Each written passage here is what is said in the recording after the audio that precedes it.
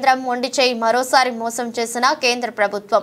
CPI మంగళవారం పార్లమెంట్లో కేంద్ర ఆర్థిక మంత్రి శ్రీమతి నిర్మలా సీతారామన్ ప్రవేశపెట్టిన బడ్జెట్లో ఆంధ్రప్రదేశ్కి తీవ్ర అన్యాయం చేసిందని సిపిఐ విమర్శించింది. కేంద్ర బడ్జెట్ను నిరసిస్తూ సిపిఐ శ్రేణులు విశాఖ రైల్వే స్టేషన్ ప్రధాన ద్వారం వద్ద మంగళవారం సాయంత్రం నిరసన నిర్వహించారు. ఈ సందర్భంగా పార్టీ జిల్లా కార్యదర్శి ఎం పైడిరాజు మాట్లాడుతూ నలభై ఏడు పాయింట్ ఆరు ఐదు లక్షల కోట్లు అంచనాతో ప్రవేశపెట్టిన బడ్జెట్లో ఆంధ్రప్రదేశ్కి రాజధాని అమరావతి అభివృద్ధికి పదిహేను వేల కోట్లు కేటాయించినట్టు చెబుతున్నా అది నమ్మశక్యం కాదని పేర్కొన్నారు. అత్యంత ముఖ్యమైన పోలవరం కోసం ఒక రూపాయి కేటాయింపు లేదని మండిపడ్డారు. విభజన హామీలు అమలు చేస్తామని అనడమే తప్ప పోలవరం ప్రాజెక్టుకు నిధులు ఎంతో ఇస్తారో ఎప్పటిలోగా పూర్తి చేస్తారని స్పష్టత లేదన్నారు.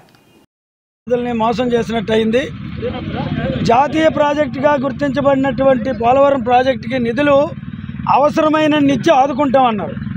ఏ విధంగా ఆదుకుంటారు? డబ్బులు ఎంత ఇస్తారు? ఎక్కడి నుండి ఇస్తారు? ఏమీ చెప్పలేదు అదే